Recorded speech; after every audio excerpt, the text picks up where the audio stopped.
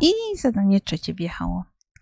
Więc tak, liczba taka jest równa. Jak już widzisz, znów są wzory. Te wzory możesz znaleźć w tablicach maturalnych. I tak, co my tu mamy? Przyjrzyjmy się. 5 minus 2 pierwiastki z 3 podniesione do kwadratu. Więc to i to nas nie interesuje, bo tu mamy kwadrat. Po środku jest minus, czyli interesuje mnie tylko i wyłącznie ten wzór. Moje a minus b do kwadratu. Tu mam b. I tak.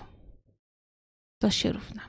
Pod spodem napiszę a kwadrat minus 2ab plus b kwadrat. Czyli moje a do kwadratu to jest 5 do kwadratu minus 2 razy 5 razy 2 pierwiastek z 3 plus 2 pierwiastek z 3 podniesione do kwadratu. Teraz naplackuję. 5 to jest 105, to jest 105.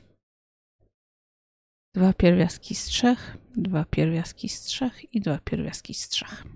Ok? Jak masz jakieś pytania do tego momentu, no to wiesz, pytaj zawsze. Więc mamy 25 minus 2 razy 5 jest 10 razy 2. Jest 20.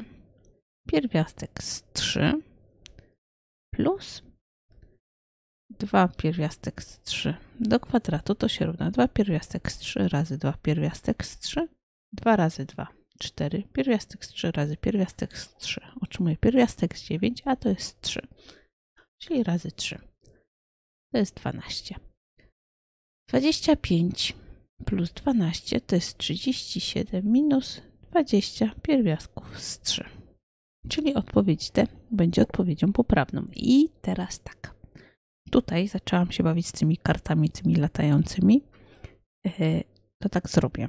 I tam będzie takie mój, moje logo. To jak mnie nie subskrybujesz, to klikniesz na to, to się zasubskrybujesz. Trudne słowo. E, I co jeszcze chciałam powiedzieć Tobie? No, że tutaj będą te dodatkowe rzeczy, jeśli chodzi o wzory skróconego mnożenia. I tam sobie zerknij.